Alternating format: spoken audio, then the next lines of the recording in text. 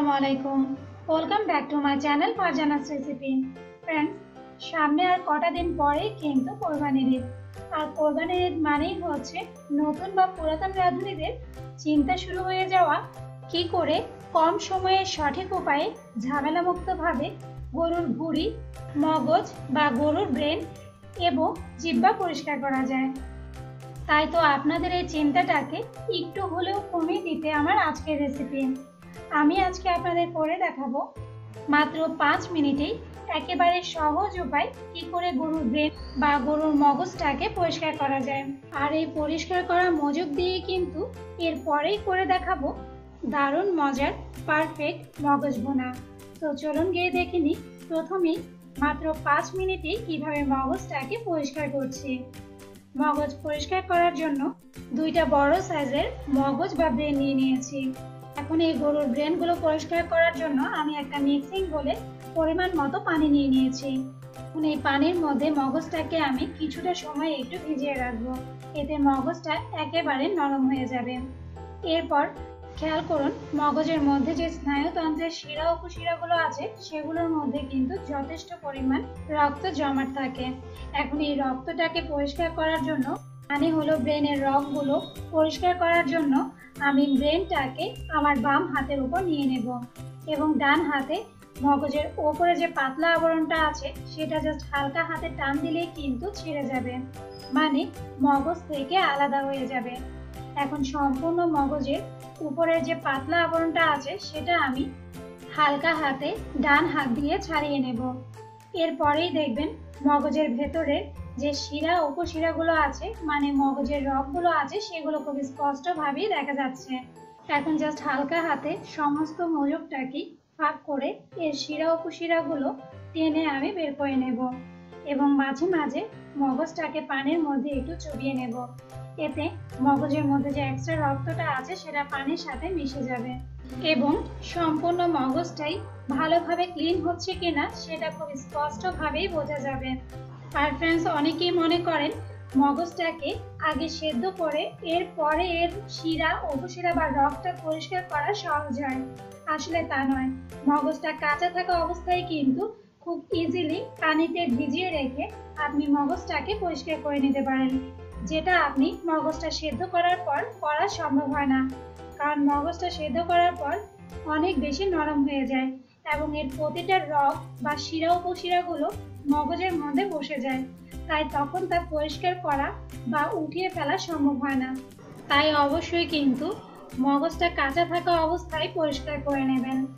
Just বাম হাতের সাহায্যে ব্যালেন্স করে এর ওপরের পাতলা আবরণটা টেনে তুলে নিলেই কিন্তু দেখবেন, রগগুলো খুব স্পষ্টভাবে দেখা যাচ্ছে এবং পরিষ্কার করা ইজি হচ্ছে। আর খেয়াল রাখবেন, কোনোভাবেই যেন মগজটা ছিঁড়ে না যায়। এখন সেম ভাবে সম্পূর্ণ মগজটাই আমি ক্লিন করে নিয়েছি। আর ফ্রেন্ডস আমি কিন্তু এখানে দুইটা গরুর মগজ ব্যবহার করেছি। এখন এই পরিষ্কার করা মগজগুলো আবারও পানি দিয়ে ভালোভাবে ধুয়ে এরকম একটা স্টেনারের ওপর নিয়ে নেবেন। এতে মগজের মধ্যে যে এক্সট্রা পানিটা আছে, সেটা সম্পূর্ণই ঝরে যাবে। তো ফ্রেন্ডস দেখলেন তো? গরুর মগজ পরিষ্কার করা কতটা সহজ? এখন এই পরিষ্কার করা মগজ দিয়েই কিন্তু আমি তৈরি করব দারুণ মজার মগজ ভুনা। মগজ ভুনা তৈরি করার জন্য প্রথমে এখানে আমি দুইটা গরুর মগজ দিয়ে নিয়েছি। আর যদি গ্রামের হিসাবে বলি, তাহলে এখানে প্রায় ছয়শো গ্রামের মতো মগজ আছে। সেই সাথে আর লাগবে আমার পেঁয়াজ কুচি দুই কাপ পরিমাণ, সয়াবিন তেল এক কাপ পরিমাণ টমেটো কিউব করে কেটে নিয়েছি হাফ কাপ পরিমাণ। আদা বাটা নিয়েছি এক টেবিল চামচ, রসুন বাটা নিয়েছি এক চা চামচ পরিমাণ, আর লাগবে কিছু স্পাইস এখানে আমি লাল মরিচের গুঁড়ো নিয়েছি এক টেবিল চামচ, হলুদ গুঁড়ো নিয়েছি এক চা চামচ, জিরা গুঁড়ো নিয়েছি এক চা চামচ, ধনিয়া গুঁড়ো নিয়েছি এক চা চামচ পরিমাণ। সেই সাথে গরম মশলা পাউডার নিয়েছি এক চা চামচ পরিমাণ। আর এই গরম মশলা পাউডারটা কিন্তু আমার নিজের ঘরে তৈরি। এর লিঙ্ক আমি ডেসক্রিপশন বক্সে দিয়ে দেব। সব শেষে লাগবে আমার দেড় ইঞ্চির এক স্টিক দারচিনি। চারটা এলাচ, আর লাগবে দুইটা তেজপাতা এবং সাত আটটা গোটা কাঁচামরিচ। ব্যাস, এই উপকরণগুলো দিয়ে কিন্তু তৈরি হয়ে যাবে দারুণ মজার ইয়ামি মগজ ভুনা।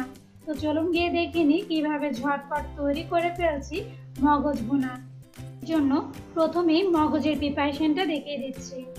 আমি আগে থেকে যে দুইটা মগজ পরিষ্কার করে রেখেছিলাম, সেই মগজগুলোকে হালকা হাতে একটু চটকে নেব।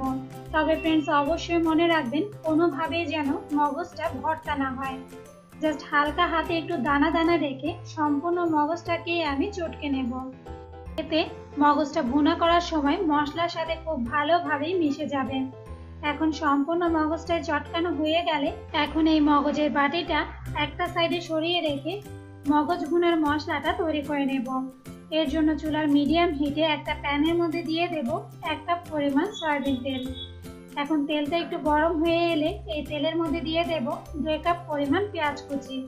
আর বাকি আধা কাপ পেঁয়াজ কুচি কিন্তু আমি তুলে রাখব। এবং এই পেঁয়াজের সাথে আমি অ্যাড করে দেব গোটা গরম মশলা। এখন পেঁয়াজ কুচি, গোটা গরম মশলা তেলের মধ্যে হালকা ব্রাউন কালার করে ভেজে নেব। আর ফ্রেন্ডস আপনারা যারা চিন্তা করছেন তেলের পরিমাণটা বেশি হয়েছে, তাদের জন্য বলছি, মগজটা দেওয়ার পর দেখবেন তেলটা পুরোপুরিভাবে ভ্যানিশ হয়ে যাবে। তাই তেল নিয়ে চিন্তা করার কিন্তু কোনো প্রয়োজন নেই। এখন পেঁয়াজ যখন হালকা ব্রাউন কালার হয়ে যাবে, তখন এর মধ্যে অ্যাড করে দেব বাকি আধা কাপ পেঁয়াজ কুচি এবং টমেটো কুচি। দিয়ে আবারও নেড়ে চেড়ে পেঁয়াজ আর টমেটোটাকে হালকা একটু নরম করে নেব। এখন এই নরম করা পেঁয়াজ আর টমেটোর সাথে অ্যাড করে দেব। আদা বাটা, রসুন বাটা এবং সবগুলো স্পাইস সেই সাথে স্বাদ মতো লবণ। এখন বাদামি করে ভাজা পেঁয়াজের সাথে সবগুলো মশলা, টমেটো একসাথে মিশিয়ে নেব। মেশানো হয়ে গেলে এর মধ্যে অ্যাড করে দেব জাস্ট ওয়ান ফোর্থ কাপ পরিমাণ পানি।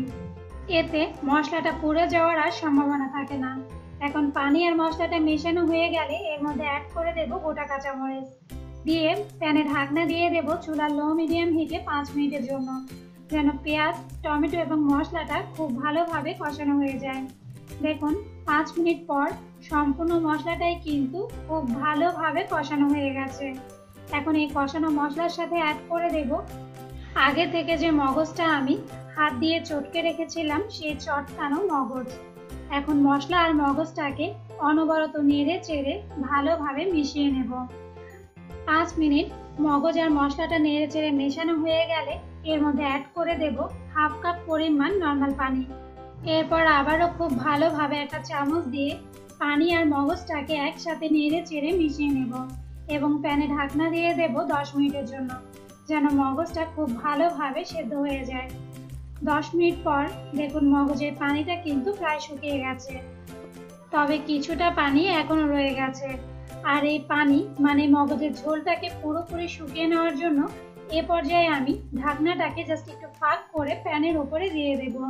যেন মগজ ভুনার মধ্যে যে এক্সট্রা ঝোলটা আছে সেটা পুরোপুরিভাবে শুকিয়ে যায়। মিনিট পর মগজের মধ্যে যে এক্সট্রা ঝোলটা ছিল সেটা কিন্তু পুরোপুরি শুকিয়ে মগজটা একেবারে মাখা মাখা হয়ে গেছে। এবং এর মধ্যে যে এক্সট্রা তেলটা ছিল ফ্রেন্ডস খেয়াল করুন, সেই তেলটাও কিন্তু শুকিয়ে গেছে।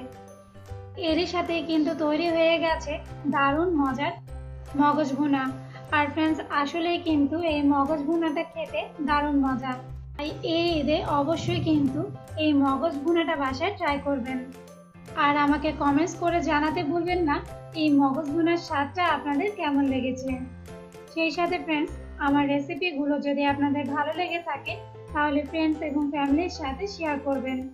আর যারা এখনও আমার চ্যানেলটা সাবস্ক্রাইব করেননি, এরকমই সব নতুন রেসিপি দেখতে অবশ্যই আমার চ্যানেলটাকে সাবস্ক্রাইব করবেন। আজ এ পর্যন্তই। আগামীকাল আবার দেখা হবে আরও একটি নতুন রেসিপির সাথে। সেই পর্যন্ত সবাই ভালো থাকবেন। আল্লাহ হাফেজ।